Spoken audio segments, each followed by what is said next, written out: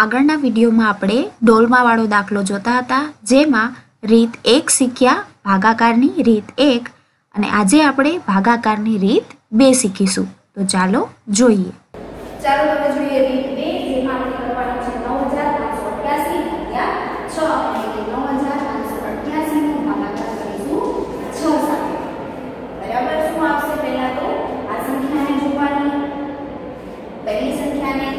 છ નો ઘડિયો આપણને આપવો જોઈએ તો જ થાય છ એકા છ છ નું થઈ જશે બાર આનાથી વધવા જોઈએ નહીં વધી જાય છે બાર તો આપણે કોનાથી ભાગ ચલાવીશું એક થી છ એકા છ હવે શું આવી જશે બાદબાકી આવી જશે નવમાંથી છ છે તો કેટલા વધે ત્રણ ત્રણ વધ્યા હવે આનું કામ પૂરું થઈ ગયું નવ હવે આપણે કોને કોની સાથે ભાગ ચલાવીશું પાંચ સાથે પાંચ ને ઉતારી દઈશું નીચે બરાબર એક એક આંકડાને નીચે આપણે ઉતારતા જવાનું છે હવે અહીંયા થઈ ગયા પાંત્રીસ છ નો ઘડિયો બોલવાનો પાંત્રીસ આવવા જોઈએ છ એકા છ છ બાર છ તેરી અઢાર છ ચોક ચોવીસ, છ પંચા ત્રીસ છાંય છાંય થઈ જશે છત્રીસ.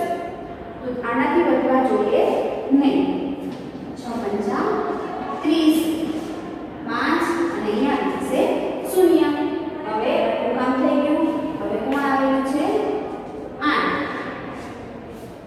શું રકમ થઈ ગઈ અઠાવન છનો ઘડિયો બોલવાનો અઠાવનથી નાની રકમ આપણે જોઈએ છે છાઈ છાઈ છત્રીસ છ સત્તા બેતાલીસ છ અઢા અડતાલીસ છ નવા ચોપન છ દસ શું થઈ જશે સાઠ થઈ જશે એટલે ચાલે નહીં આઠમાંથી ચાર જશે ચાર આઠમાંથી પાંચ જશે શૂન્ય હવે અહીંયાથી નીચે આવી જશે આઠ બરાબર શું થઈ જશે છ અઠ્ઠા અડતાલીસ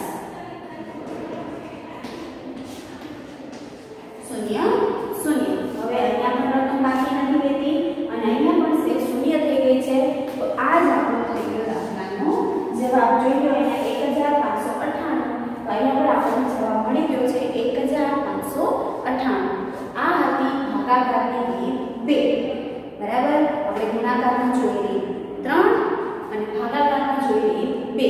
આ પાંચે પાંચ રીત તમને આવડવું જરૂરી છે એની સાથે ઘડિયા પણ આવડવા જરૂરી છે. તો હવે આ અને ત્રિરાશિમકતા જો તમને સારી રીતે આવડતી હોય તો બધા જ દાખલા એકદમ સરળ છે. તો બાળકો હવે તમે ભાગાકારની રીત એક અને રીત બે બંને જ શીખી ગયા છો તો ચાલો હવે થોડા મહાવરાના દાખલા જોઈએ. તો હવે ભાગાકારમાં આપણે મહાવરાના દાખલા જોઈશું જેમાં એ છે ચાર હજાર બસો વીસ ભાગ્યા ચાર આપણે ભાગાકારના બે રીત જોઈ ગયા છીએ એક આપણે નવી શીખ્યા અને એક તમે જાણતા જતા આપણે ખાલી રિવિઝન કર્યું આ દાખલો પણ તમે કોઈ પણ રીતથી સરળતાથી ગણી શકો છો ચલો આપણે બંને રીતથી જોઈએ પહેલા તો લખીશું ચાર હજાર બસો વીસ ભાગ્યા ચાર પહેલા રીત એકથી લખીએ ત્યાર પછી અહીંયા રીત બેથી પણ કરશું ચાર હજાર બસો વીસ ભાગ્યા ચાર ઓકે સૌથી પહેલા તો રીત એકમાં આપણે શું જોઈ રહ્યા હતા? હજાર સો દસ. કઈ સંખ્યા આવે છે તે આપણે જોવાનું છે? કઈ સંખ્યા આવશે? શું લાગે છે તમને અહીંયા? દસ આવે. સો આવે. કે હજાર આવે? આપણે સરળતાથી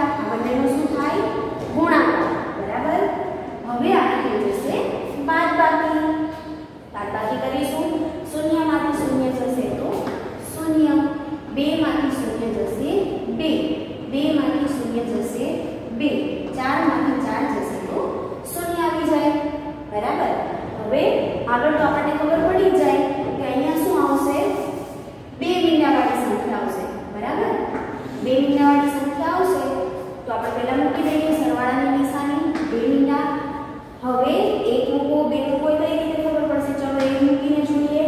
એક મૂકશો તો શું થઈ જશે? ચાર ગુણ્યા સો, ચારસો. ચારસો તો વધી જાય છે. એટલે બે મીંડા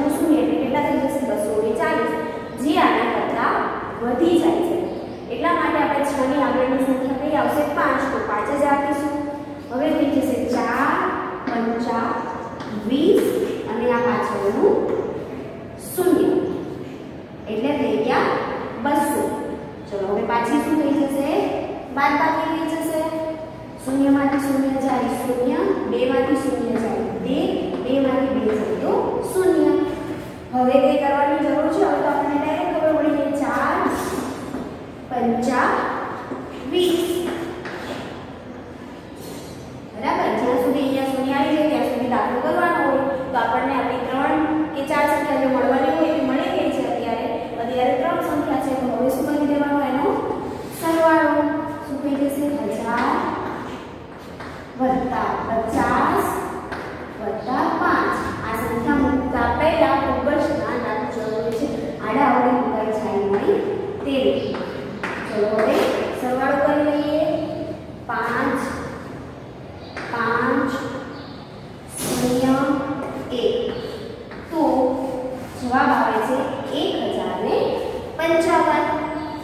રીત જોઈ આપણે એક.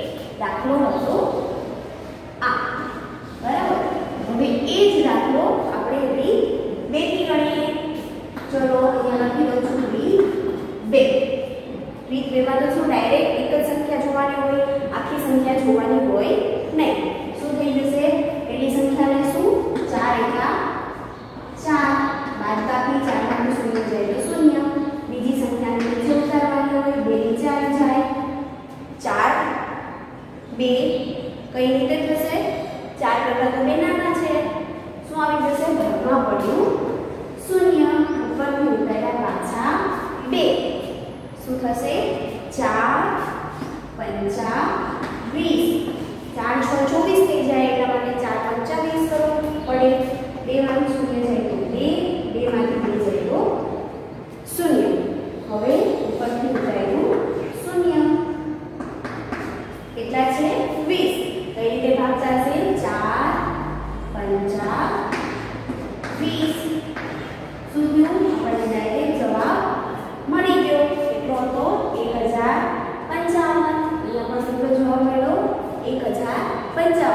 આપણે જોઈએ અહીંયા એક બે ત્રણ સ્ટેપમાં દાખલો થયો. અહીંયા એક બે ત્રણ સ્ટેપમાં દાખલો થયો.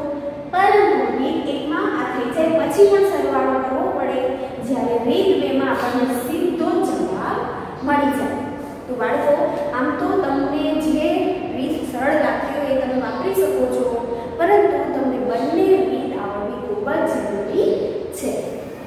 બંને રીતની તમે જાતે પ્રેક્ટિસ કરજો, તો જ તમને દાખલા સહેલા લાગશે, નહીતર ખાલી જોવાથી અને સીધું જ નોટબુકમાં લખી નાખવાથી જોઈ જોઈને તમને જ્યારે પરીક્ષામાં દાખલા ગણશો તો આવડશે નહીં.